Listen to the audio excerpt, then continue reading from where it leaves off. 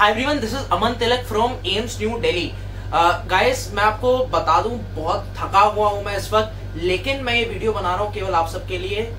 सच्चाई का चेहरा आपके साथ रूबरू कराने के लिए मैं वीडियो बना रहा हूँ। प्लीज़ इसको एंड तक देखिएगा। जिनको सच नहीं सुनना प्लीज़ ऐसी वीडियो मत देखिए। प्लीज़ कोई नीचे आपके लिंक्ड कोई आ, आ, उसमें सजेस्टेड वीडियोस में आ रहा होगा कोई मोटिवेशन और ये सब वो आप देखो ठीक है?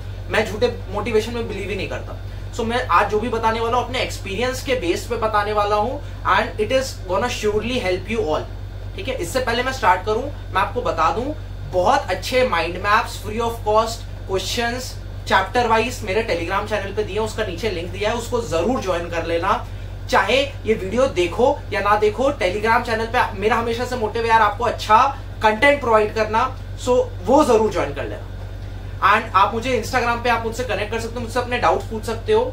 And I see to it अगर जैसे ये जो क्वेश्चन था ना, ये जो आज मैं वीडियो बनाने वाला हूँ, ये मैंने आपके सारे डाउट्स के और जो मैंने एक्सपीरियंस किया है ना, पिछले तीन सालों में, उसके बेसिस पे बनाया है कहाँ आप गलती कर रहे हो, इससे आप जान जाओगे। मैंने देखा है कि फ्रेंड्स यार, तीन किस्म के एस्पेरेंट्स हैं।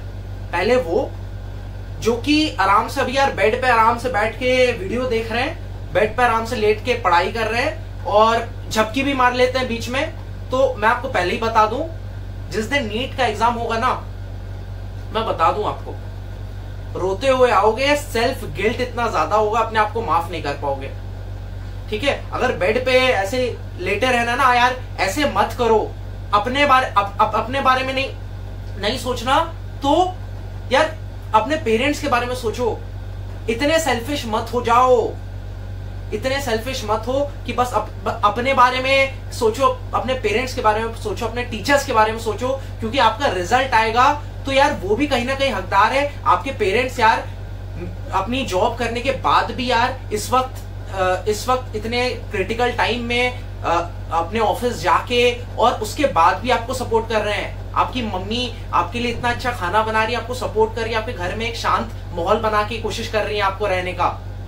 तो उनके लिए पढ़ो राइट right? सो so, पहले जो एस्पिरेंट्स होते हैं वो ये होते हैं जो अभी वीडियो भी आराम से लेट के देख रहे होंगे वीडियो देखा बंद किया थोड़ा सा झपकी मार ली और उसके बाद फिर मन किया थोड़ा एनसीआरटी पढ़ा छोड़ा बीच में कोई यार वीडियोस यूट्यूब पे और मेरे मेरे वीडियो के बाद कोई और एजुकेशनल वीडियो चले गए अपने आप को दिलासा दे रहे हैं कि पढ़ रहे हैं लेकिन असली में नहीं पढ़ रहे राइट right? सो so, ऐसे मत करो यार ऐसे तो यार नीड भी मत दो कोई फ़ायदा नहीं है ना इससे अच्छा मत करो यार अपने आप को झूठा दिलासा मत दो ठीक है? दूसरी क्लास के एस्पिरेंट्स कौन से हैं? जो कि ज़्यादातर लोग हैं, जो कि मेरा ये अभी इस वक्त वीडियो देख रहे हैं। देखो, बुरा लग सकता है, लेकिन प्लीज़ गैस समझने की कोशिश करना।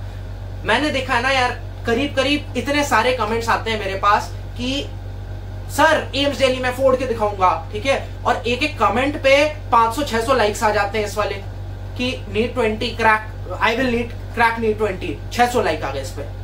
यार, मैं किसी को यार डिमोटिवेट नहीं कर रहा, मैं लेकिन मैं सच बस बता रहा हूँ, ये जब लिख रहे हो ना तो क्या आपको अपने ऊपर भरोसा है? ठीक है, मैं दूसरे क्लास के एस्पिरेंट्स के बारे में बात करूँगा, ये क्या करते हैं? ये अपने ऊपर एक बोलते तो बहुत मोटिवेट होते हैं कि यार कि मेरे को नीट क्रैक करना, बहुत अच्छे से करना है, और बहुत बोलते हैं, यार एम्स इज़ माई टारगेट मैं करके दिखाऊँगा। लेकिन ये लोग रियलिटी के कॉन्टैक्ट में नहीं है। ये ये लोग नहीं समझ पा रहे कि ये भाई ट्रूमैन पढ़ेंगे, आकाश एलएन जो भी उनके मॉड्यूल्स हैं वो बड़े बड़े पढ़ेंगे, लेकिन रियलिटी के कॉन्टेक्ट में नहीं है। ये बड़ी बड़ी चीज़ें ड्रीम कर रहे हैं, लेकिन उसके अकॉर्डिंग में ना ही ये अपने टारगेट गोल सेट किए हुए हैं, ना ही इनकी परफॉर्मेंस है। राइट सो इन बच्चों के लिए यार, मैं आपसे यही चीज़ कहूँगा कि यार स्टेप वाइज रिलेशन में अपना टारगेट रखो। मैंने टेलीग्राम चैनल पर समझा के रखा है, बहुत अच्छी तरीके से। सबसे पहला टारगेट होना चाहिए government medical college second level पे आपका टारगेट होना चाहिए कि आपके जो इंडिया के प्रीमियर इंस्टीट्यूट हैं, वो, जैसे JIPMER Maulana Azad B H U मैमसी L H N C और थर्ड लेवल पे होना चाहिए आपका कि जो टॉप मोस्ट है, वो एम्स डेली ऐसा नहीं है कि यार बस आप एम्स डेली के लिए टारगेट करोगे तो हो सकता है यार आप 200-300 पे रह जाओ. जानते हो क्यों? क्योंकि आप डिविएट हो जाओगे अपने टारगेट से. सबसे पहले आपको स्टेप वाइज ग्रेडेशन में बढ़ना है. तो यार, ये जो दूसरे क्लास के एस्पेरेंट्स है ना, हाथ जोड़ के विनती यार। ऐसे अपना झूठा दिलासा मत दो। नीट के एग्ज़ाम जब अभी तो बहुत कॉन्फिडेंस में हो कि हाँ कर लेंगे कर लेंगे। और आप लोग अभी सोच रहे हो ना कि यार 200 नंबर आ रहा है अभी। और नीट के एग्ज़ाम में यार, कुछ कुछ यार, कुछ कुछ तो यार आसान पेपर होता है, इतने लोग कहते हैं। बहुत आसान होता है, मैं साढ़े छह सौ ले आऊँगा। एक अंदर से आता ना कि हाँ हो जाएगा। शायद उस दिन मेरा लक अच्छा हो जाए। यार, ऐसा नहीं होता यार। मैंने देखा है यार, नीट के एग्ज़ाम के सेंटर के बाहर रोते हुए आओगे अपने आप से आँखें नहीं मिला पाओगे। जो सारे कमेंट्स लिखे होगे ना नीचे कि क्रैक नीट फोड़ेंगे नीट फोड़ेंगे, नहीं हो पाएगा।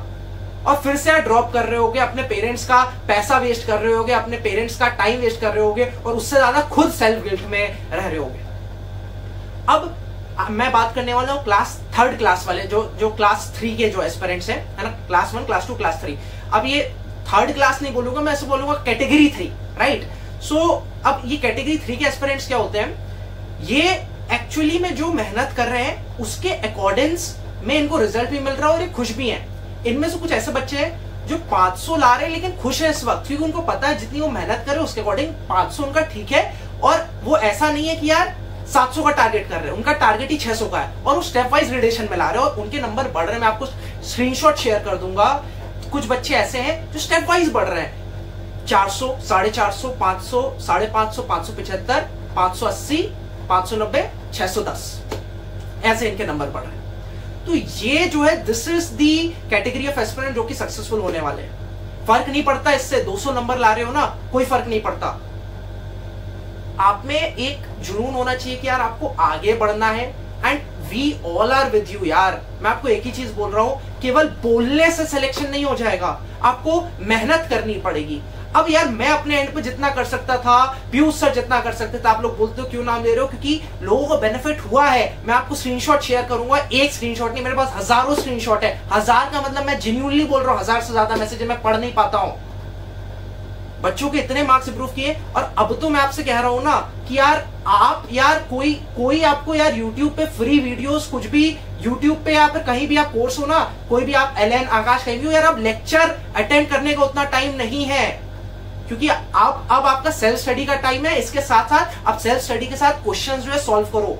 और क्वेश्चन मुझे नहीं पता यार, आप कोई भी A B C D E coaching से एनरोल किए हो, फ़र्क नहीं पड़ता।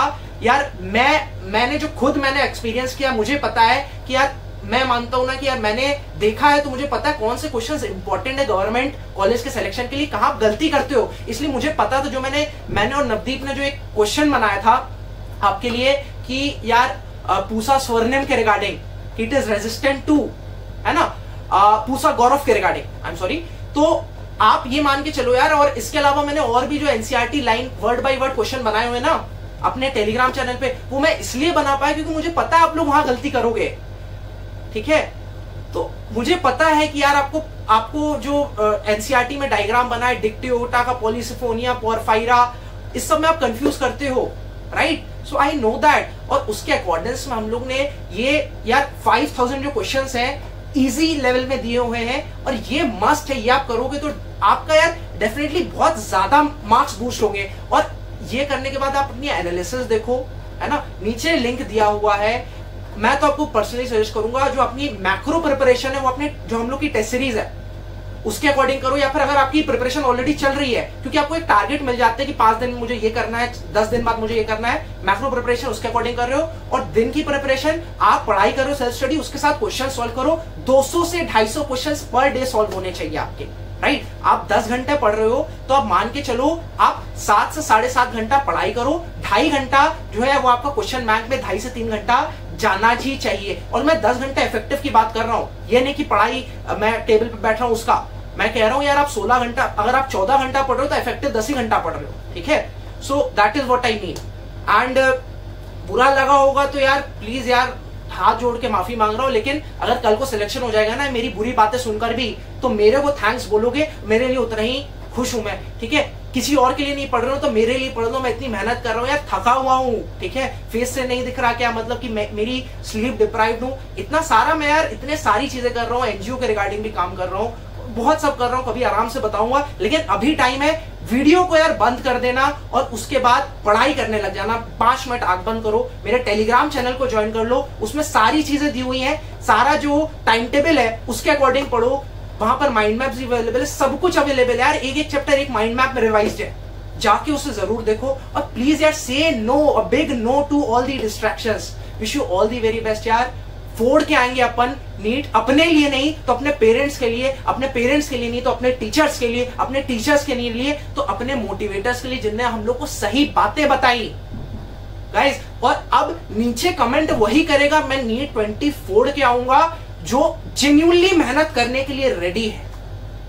Wish you all the very best subscribe नहीं किया चैनल सब्सक्राइब कर दो, और या सेल्फिश मत बनो, मैं आपको एक और चीज़ बता दू लास्ट कुछ बच्चे होते हैं ना, वो छुपा लेते हैं कि भाई कि मैंने ये ये बुक से पढ़ा, मैं नहीं बताऊँगा अपने फ्रेंड को। गलत करते हो जानते हो क्यों? मैंने, यार, मैं जिनली अपने एक्सपीरियंस में बता रहा हूँ, आप शेयर कर दोगे ना तो आपको एक इनसिक्योरिटी आ जाएगी। और वो इनसिक्योरिटी आ जाएगी ना तो आप मेहनत और करने लग जाओगे, आपको डर लेगा आपका फ्रेंड कहीं आपसे आगे निकल तो नहीं गया राइट सो so, ये यार ये हेल्दी कंपटीशन होता है। सो so, मैं तो कहूँगा इस वीडियो को शेयर करो जितना ज़्यादा शेयर करो अपने व्हाट्सएप स्टोरीज पे लगा दो अपने ग्रुप्स पे शेयर कर दो। आपको डर लगेगा कि बाकी बच्चों को तो नहीं पता चल गया उसकी वजह से आप पढ़ोगे। और क्वेश्चन बैंक यार जाओ एनरोल करो। मैं पर्सनली सर्च कर मैंने खुद उसमें हैंड पिक किए मेरे खुद के टीचर ने पीयूष सर ने हैंड पिक किए क्वेश्चंस जो फिजिक्स केमिस्ट्री बायो के चैप्टर वाइज इंपॉर्टेंट है। हर चैप्टर में केवल 100 से 150 सवाल। उतने कर जाओ वो बेयर मिनिमम है।